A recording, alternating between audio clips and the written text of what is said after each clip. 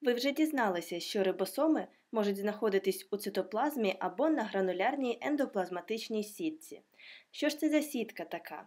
Ендоплазматичну сітку ще називають ендоплазматичним ретикулумом або часто використовують скорочення ЕПС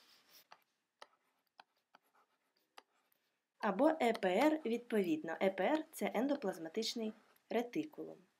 Різниці між цими двома назвами за сенсом немає.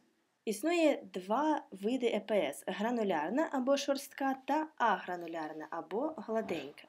ЕПС це промисловість нашого міста. Зовнішня мембрана ядра переходить у гранулярну ЕПС, як можна побачити на малюнку. Ось це зовнішня мембрана ядра, і ось вона переходить у систему канальців, на якій є гранули, наші рибосоми. На гранулярній ЕПС синтезуються білки, причому білки, що згодом експортуються з клітини, тобто промисловість нашого міста працює на експорт та виробляє надзвичайно якісні товари. На поверхні гранулярної або зернистої ЕПС є невеличкі гранули, як ви вже побачили. Ці гранули це рибосоми, адже саме за їх участі відбувається синтез білків. Що ж таке агранулярна або гладенька ЕПС? Це також промисловість, але на гранулярній ЕПС синтезуються ліпіди, тобто жири та вуглеводи. Ці органічні речовини можуть бути ще сирими та потребувати подальшого дозрівання. Справді, є інстанція в нашій клітині, яка здійснить наступну обробку отриманої сировини. Така інстанція апарат або комплекс Гольджі.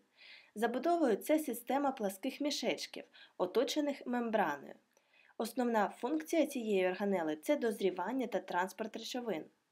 Тобто те, що виробила промисловість, часто потребує наступної обробки, причому це стосується як продукції гранулярної ЕПС, тобто білків, так і продукції гладенької ЕПС, тобто жирів і вуглеводів.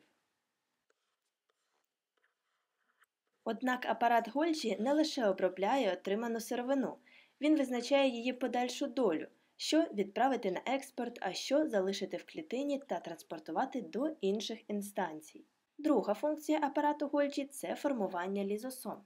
Лізосоми це також органели, а виконують вони функцію прибирання. Так, у клітині теж інколи потрібно прибирати.